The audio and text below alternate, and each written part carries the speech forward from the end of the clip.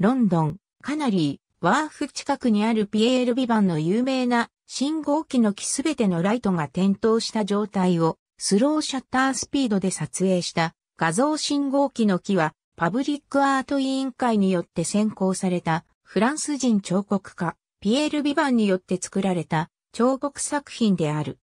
ロンドンの金融地区の一つにあるヘロンキーバンク、マーシュウォール、ウェストフェリーロードの交差点でかなりワーフ近くのラウンドアバウトにある。彫刻の高さは8メートルで、コンピュータ制御の交通信号機が75個装着されている。ビバンはこのプロジェクトについて次のように記述している。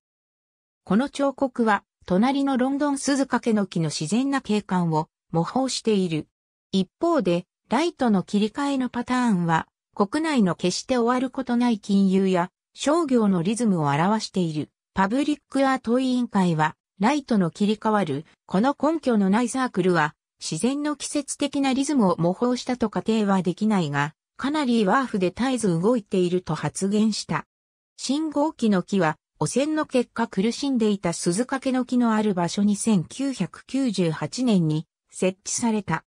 ロンドン証券取引所の小波乱を示すためライトが設置されるということは最初から意図されていたが、これは高すぎるため断念せざるを得ないことが分かった。この彫刻を最初は本物の信号機と見誤り混乱する数人の運転手もいたが、すぐに観光客と地元住民の両方から人気を集めるようになった。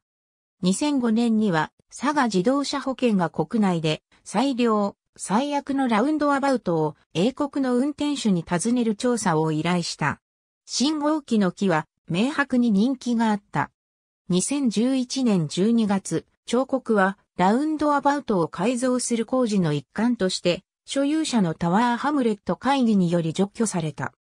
2012年1月にこの委員会は、ドックス島に工事が残るだろうと公表したが、場所の特定はされず、ビリングスゲートマーケット近くのトラファルガーウェイラウンドアバウトに復活させるため、委員会によって計画の申請が受け取られたことは、2013年の初めに報告された。ありがとうございます。